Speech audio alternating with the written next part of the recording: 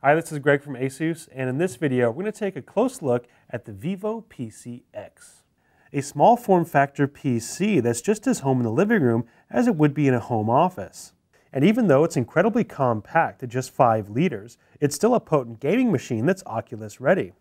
On the inside, it's got an Intel Core i5-7300HQ, 8 gigabytes of DDR4 memory at 2400 megahertz, an NVIDIA GeForce GTX 1060, a 1 terabyte SATA 2.5 inch HDD, and of course 802.11ac Wi-Fi and Bluetooth 4.1.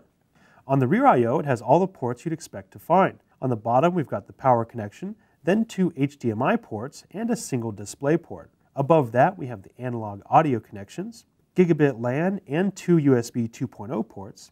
And on top, we've got four USB 3.0 ports, which you'll need for room scale VR.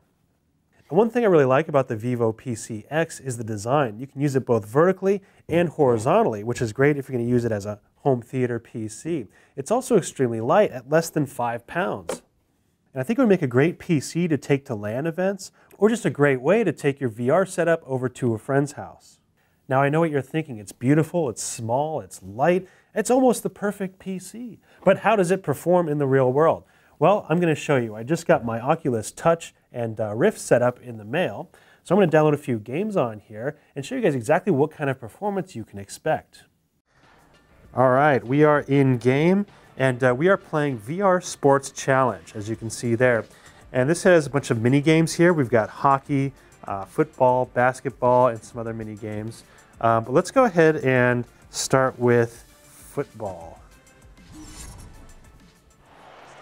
Alrighty, so in this mini game, you play the quarterback, and the object is to make passes and score touchdowns, basically. You're in a big stadium. You see the sky up there. It's a nice sunny day. And uh, it's actually really cool. So squeeze trigger to continue.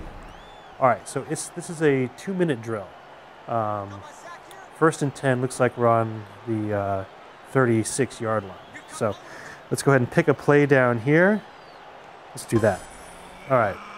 So I'm going to go to 83 over there. Hopefully the defense didn't see me pointing. There we go. Oh, he's coming over. Oh. Here we go. And then you catch it too. Boom. All right, first down. Now you can see in the upper right hand corner, I've got the FPS counter there. So um, it should be running at a constant 90 FPS. And that's what you really need to get a good, solid VR experience. So go ahead and keep an eye on that during this next play. Um, let's do that. There we go. There we go. Get there. Get there. First down. First down. There we go. All right, so the next game we're going to play is called Unspoken. This is how it starts in a uh, city street. It's a 1v1 uh, fighting game. It's, it's really interesting. So why don't you guys just hold on a sec. I'll get a match going. I can show you what it's all about. And again, in the upper right-hand corner, we've got the uh, FPS counter. So you should be able to get a good reading on what kind of performance you can get. All right, so you start in your apartment here, and uh, there's different things you can you can go explore, you know.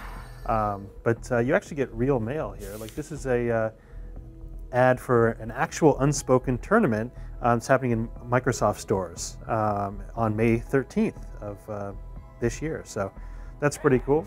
But uh, you know, if you go upstairs, you can say hello to yourself in the mirror, or check out some of your some of your things here.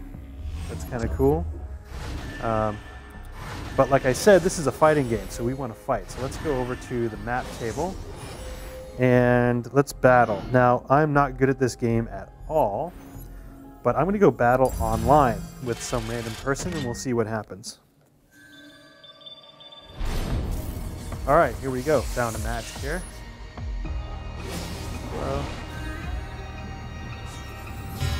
Oh gosh, I have no idea what I'm doing.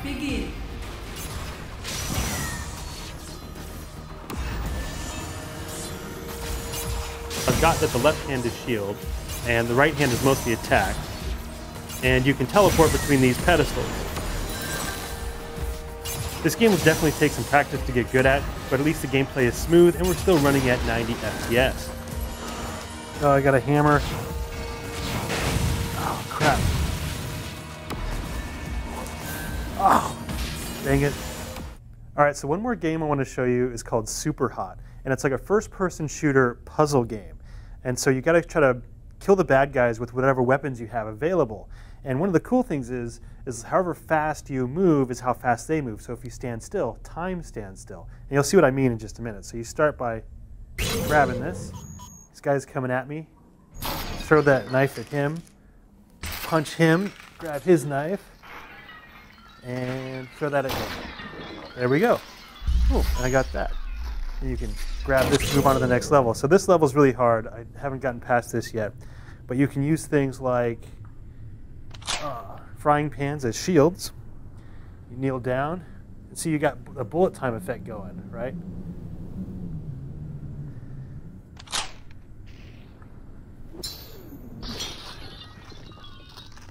So I killed that guy. Let's grab one of these guns under here. Oh, there's a bullet coming at me. Got him. Both bullets. Oh, they shot me. Okay. And you can also play regular games as well. And here I've got one of my favorite games, Project Cars. I'm running at 1080p on high settings, and as you can see, I'm running at about 100 FPS.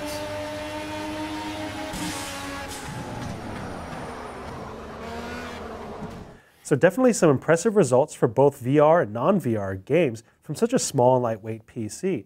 Now, if you want to dive a little deeper into the performance of the VivoPC X, go ahead and click on the link to the EdgeUp article in the description below. Thank you very much for watching, and if you enjoyed this video, please subscribe. We'll see you next time.